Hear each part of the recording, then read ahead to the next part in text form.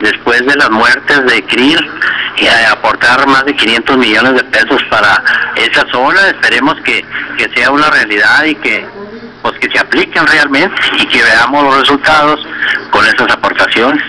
Y ya no les ha, ya no les ha vuelto a, a recordar lo de esas 500 millones de pesos porque es una gran cantidad que beneficia principalmente al turismo de la sierra, ¿no?